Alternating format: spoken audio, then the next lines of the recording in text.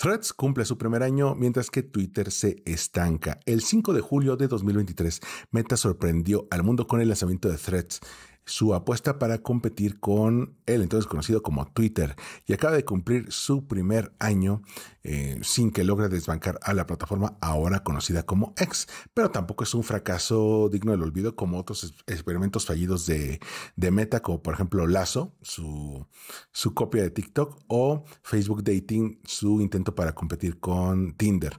Todo lo contrario, se ha convertido en la opción más atractiva frente a X. Eh, en cuanto a eh, mensajes cortos de texto, de microblogging. actualmente tiene 175 millones de usuarios activos, casi la, más o menos la mitad de los 330, 350 que algunos analistas le dan a X. Hay que tomar en cuenta que X, al ser una empresa privada, no pública, no tiene que dar datos eh, eh, públicos o datos verídicos. Entonces, ha llegado a decir que tiene 500 millones, pero la verdad es que no hay otra forma de creerles más que su palabra. Y eh, Threads, con este número de usuarios, sigue con el récord de la red social con mayor número de usuarios nuevos en su lanzamiento.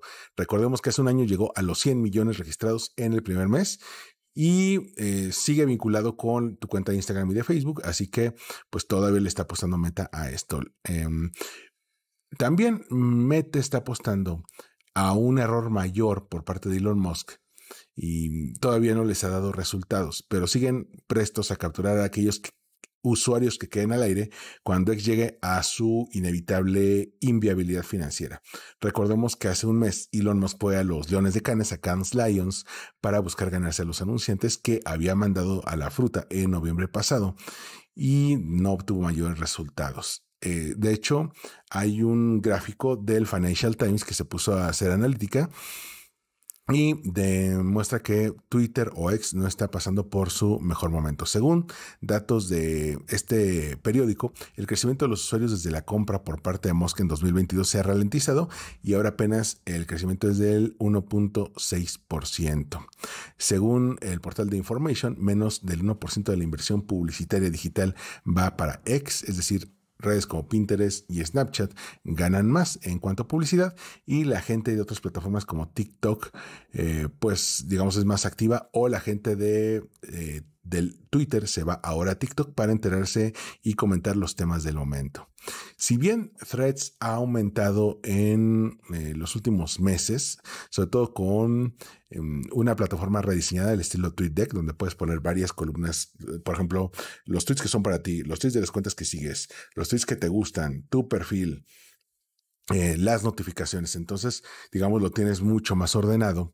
Sobre todo si tienes una pantalla grande, te funciona mucho. Aún así, le falta mucho para ser una opción competitiva, el lugar donde sea la conversación pública, como decía Adam Mosseri en su momento. Aún, por ejemplo, no puedes dar seguimiento a temas relevantes en tiempo real.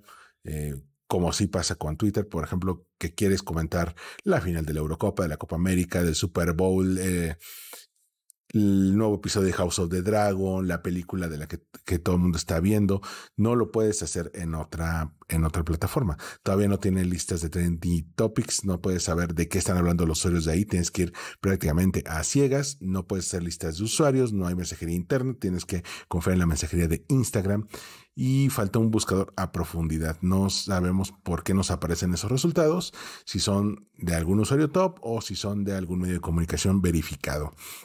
Con todo y eso, ha logrado superar a otras opciones como Mastodon, Blue Sky o Social, la de Donald Trump, como opciones de, de competencia entre Twitter. Aún así, la batalla está lejos de terminar. Yo sí le echo un par de años a que esto se defina.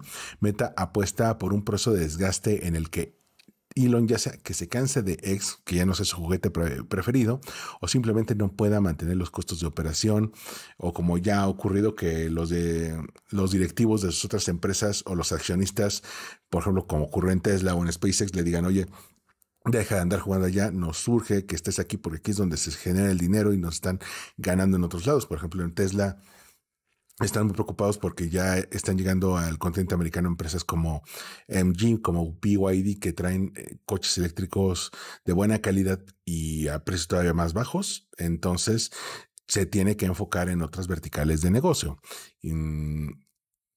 Y sobre todo, también hay que tomar en cuenta que Meta cuenta con el dinero para mantener a Threads sin necesidad de buscar anunciantes. Todavía a un año no ha puesto anuncios, así que podrían pasar varios años antes de ver un cambio radical.